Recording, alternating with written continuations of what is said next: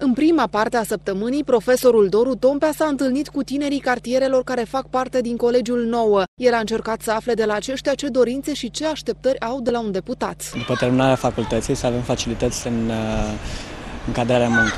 Acordarea de ajutoare pentru tinerii căsătoriți. Motivarea elevilor și studenților prin uh, acordarea de burse, premii și alocația acestora.